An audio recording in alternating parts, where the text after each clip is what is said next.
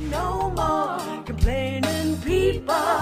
Their lives are changing. We're flying high, creating a complaint free world. No more, no Today, we want to jumpstart satisfaction, the origin of the words, or more importantly, where it comes from in our lives, and why it is something that so many of us struggle with. Ask yourself before I even begin and click an answer below. How often do you feel truly satisfied in your life? I can tell you that for myself, this is something that I've really, really struggled with over the years. And I realize that it comes from a feeling of incompleteness, which is not necessarily a bad thing. I remember uh, reading an interview back when Michael Jackson's Thriller was the biggest thing on the planet in the 1980s. And he and Quincy Jones were being interviewed, and Quincy Jones was talking about how great the album was and how perfect it was. And Michael Jackson kept just sort of wrinkling his nose as if, and then he said, No, we could have done it much better. We could have, and he said that my problem is I never ever feel satisfied. So it's a it's an interesting dance between satisfaction. We have this idea that if we feel satisfied, we'll no longer be motivated. And yet if we're driven by fear, it's hard to stay motivated. And if we're unsatisfied, we're driven by fear because we're trying to fill an emptiness that is within us. The word satisfaction is synonymous with the word fulfillment. Now, take that word for just a moment, all right? Fulfilled. Full filled. Are you filled full? And the chances are most people are not. We've been sort of taught that this idea of satisfaction is a bad thing and that we should always feel that if we can we if we feel satisfied we will stop. Do you understand what i'm saying? If we feel satisfied we will stop. But we're not going to stop if we're driven by a higher purpose. If your purpose for doing and being who and what you are is bigger than who you are or bigger than you then you're not going to run into this issue of feeling satisfied. And then stopping or not moving forward in your life. Now, it is true that dissatisfaction, dissatisfaction is often the first step towards moving us forward. So let's say, for an example, I remember, and I've used this metaphor, this example many times, but um, I was very obese as a child, very obese as a teenager. And I remember lying in bed, 287 pounds, and having trouble breathing because my belly was so big. And I remember feeling so dissatisfied, so dissatisfied. And I let that drive me. I, I that drove me to go to Weight Watchers to begin to lose weight. The challenge was what I found was that I had to be satisfied along the way with not doing as well as I would like, or I would quit. Here's what I mean. So 287 pounds. I go to Weight Watchers. I get weighed. I'm looking at it going, wow, that's, you know, a little more than a tenth of a ton. I weighed quite a bit. And as I'm looking at this and I'm thinking, um, I'm very dissatisfied and I want to move forward. Now, that first week, because I went on a diet for the first time and I was a big young man, I lost seven pounds. So I was very satisfied. I felt very filled full, fulfilled. Okay. I felt very fulfilled. Now, the following week I went in and I'd only lost one pound. Now, because I compared what I had done before, rather than saying, wow, I was down a total of eight pounds, I felt like I should have been down seven pounds every week. You know, in another five weeks, I'll be down, I'll be done with this thing. The challenge is to feel fulfilled, not because of the result. And if you are multitasking, come back because you need to hear this. To feel fulfilled in your exertion. I've discovered that satisfaction often comes from appreciating our exertion, the exertion that we put forth, the effort that we put forth. And that is what we need to begin to celebrate. We celebrate when someone wins a tennis match. We don't celebrate when someone loses a tennis match. What we don't celebrate either is how many thousands of hours that person had to prepare and uh, exercise and learn and be coached, etc., just to even play. And it's that exertion that we need to celebrate we still get caught up, I find, in that they're there. Like I'm ultimately going to have it all. I'm going to have everything worked out. I'm going to have it all figured out. And their life has never worked out that way. So it's never going to. Does that mean we can't be satisfied? No, we can and we should be satisfied. Not complete, as in I'm done, over with, but satisfied with our efforts, satisfied with who we are, satisfied with our support system, satisfied with what we have overcome. I'm reading a wonderful book by my friend Guy Winch, and uh, it's called How to Mend a Broken Heart. And he talks about how people don't tend to appreciate and understand when someone loses a pet as much or loses a relationship as much as if they lose a primary family member. And he talks about how that that giving forth the uh, support from other people creates a, a feeling in the person who is being supported of feeling full, of being satisfied. So, in a lot of ways and a lot of times, we can give others that feeling. But if we don't feel it ourselves, we will never, ever, ever get there. When I saw that interview with Quincy Jones and Mike, Michael Jackson, I remember thinking, this is the biggest album ever. The Beatles never did anything like this. It's huge. And he is dissatisfied. And right there, that also made me feel a little bit better because if you tend to feel a little dissatisfied, you're normal. You're normal. What I'm saying is that when we begin to be grateful for what we've done, when we begin to be grateful for what we have, and more importantly, when we begin to be grateful for who we are, we can begin to feel fulfilled. If you think about it, satisfaction, the opposite of fulfillment, is empty empty. Most people walk around, myself included, for many, many years, feeling pretty darn empty. And the way we end up feeling that way is not because we feel empty, we think empty. We think that we are not as good as other people, as smart, as handsome, as calm, as cool, etc., etc., etc. We're normal. That's what I keep wanting us to understand. We tend to think that we are unique in ways that get us into trouble, and we also tend to think that we are, and we tend to forget that we are very much like other people. So let me ask you a question What gives you satisfaction? And it's little things. What gives you satisfaction? One of the things I want to do this evening is reap replant all my potted plants. I notice they need to be replanted, and it really gives me satisfaction to put them into a bigger space. Does getting up and getting yourself to walk, anytime you can do anything to overcome your ego's natural proclivity to not do anything, you can and should feel satisfaction. We always have this balance. So if you want to get up and take a walk, your ego will often remind you or try and tell you that, oh, you shouldn't, you don't have time, etc., etc., etc., etc.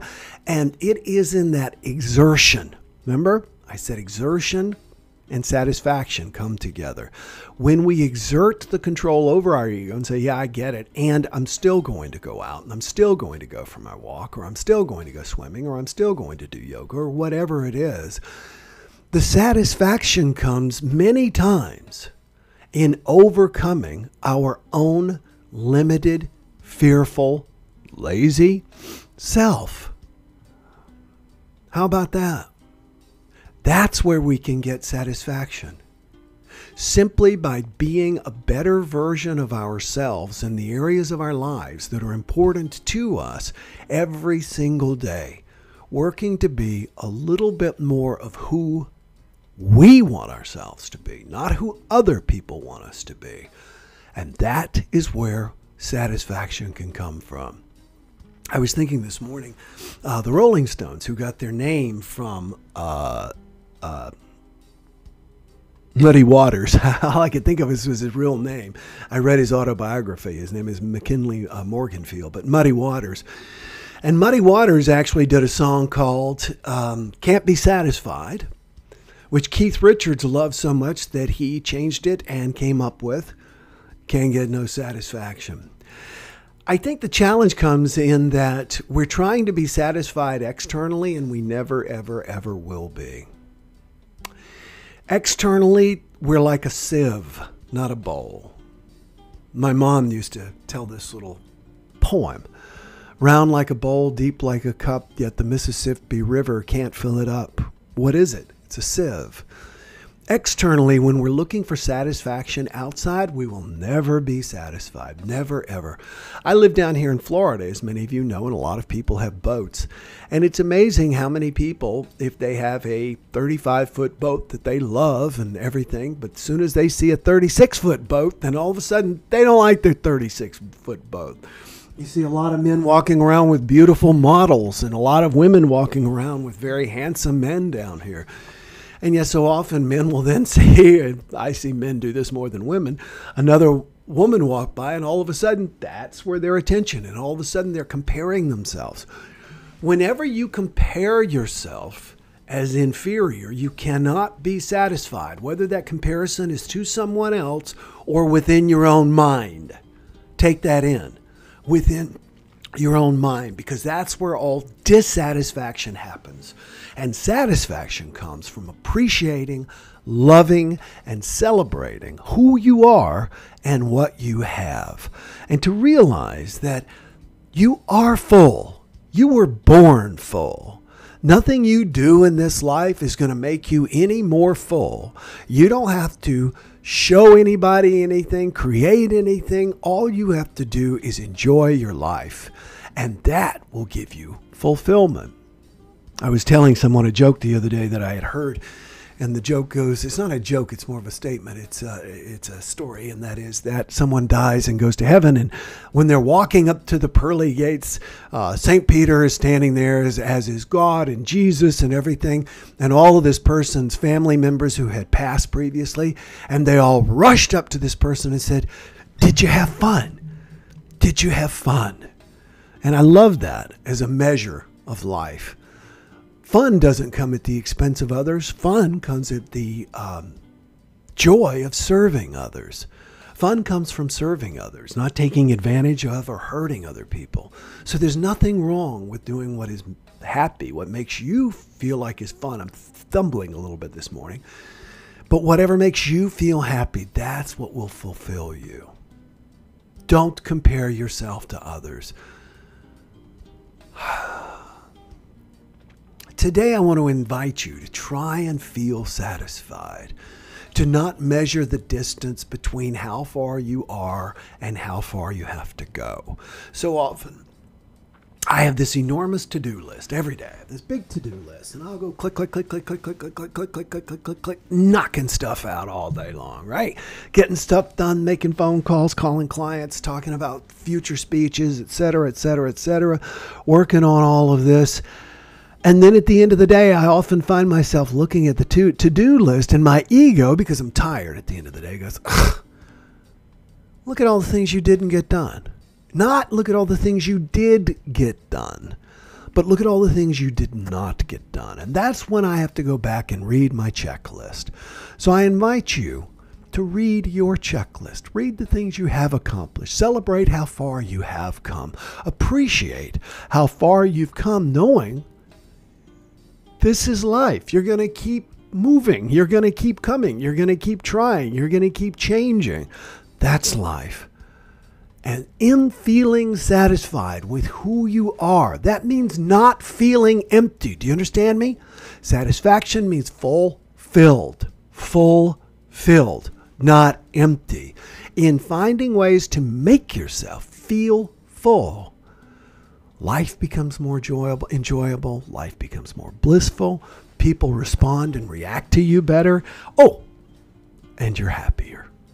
So work today to become more satisfied by appreciating how far you've come rather than looking at how far you think you've got to go. I can tell you that having lost 104 pounds, that there were so many times when it, I did not celebrate how far I had come. When I'd lost 40 pounds, all I thought about was how I sometimes how I lost had to lose 60. And that's when the people at Weight Watchers were always like, Are you kidding me? Shut up. Celebrate what you've already done. So I guess that would be kind of my big inspiration today. Shut up. Celebrate everything you've already done. Because you've done a lot and you're pretty spectacular and you're going to do a whole lot more. Before I say goodbye and we move on to our complaint free meditation program, I want to invite all of you who'd like to to say a comment or uh, any sort of a question that you'd like to have, anything relative to fulfillment in your own life that you'd like to say. I see that Laura Osteen Rhodes has joined us. Good morning. And Heather Ellis is here as always. There's Heather. Good morning. Hillary Clifford says, Good morning, everyone. Great to see you. Arlene Pittman, great to have you here. I find fulfillment through productive action. Aiming for inward accomplishment, I can accomplish outward goals, but still not feel fulfilled. That is absolutely true, Ed. Well put. Good morning from Smoky, Oregon. We're getting a lot of people in Oregon and California. Bless your hearts, all of you. Thank you, Will, from sunny South Florida with a little rain shower now, says Sherry. Michelle says, I get it. Thank you. Bless you. It is a shift awakening in our mindsets and being aware of our thoughts, says Arlene, and what we speak, then making the effort to switch that seat thinking. It's challenging, but bam, so worth it. Worth it. Awesome message, says Chris. Uh, Arlene, I want to comment real quick on something you said, and that is that um, this I can't think of the name of it. So, but I'm reading this one book, and it talks about when we start getting those negative thoughts in our head, to literally scream, shout, uh, scream, stop, in our own heads, to shout the word stop, stop, and then force ourselves. I struggle my entire life with lying in bed and my ego would take over and would tell me all the negative, bad things about me, which there aren't many. And it would tell me all the terrible things I've done in my life. Again, not many. And it would just replay them over and over and over again.